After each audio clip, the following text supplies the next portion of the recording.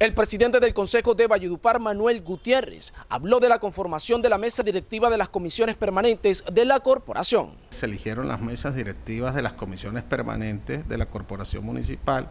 quedando conformadas de la siguiente manera. En la comisión primera permanente, que es la comisión del plan de desarrollo, quedó como presidente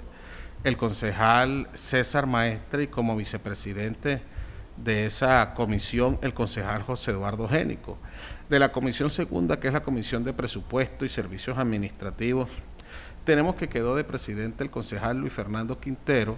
y como vicepresidente quedó el honorable concejal Joser Gómez. El de la comisión tercera, que es la comisión de, eh, de gobierno y servicios públicos, quedó como presidente el concejal Pedro Manuel Loperena y como vicepresidente el concejal Rodrigo Álvarez.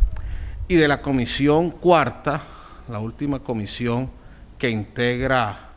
las comisiones permanentes de esta corporación, que es la Comisión de la Equidad de la Mujer, quedó como presidente el concejal Guido Castilla y como vicepresidente la concejal Telma Gómez. Con esto pues quedaron...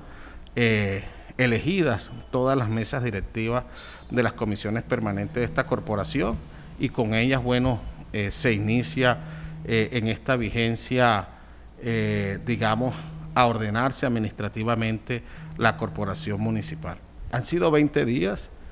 una nueva experiencia, una experiencia administrativa, una experiencia más en esta carrera política que apenas comienza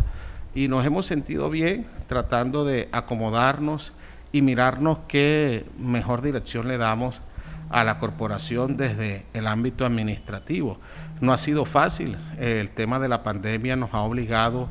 a reinventarnos como comúnmente se dice. Hoy estamos en sesiones virtuales o continuamos en sesiones virtuales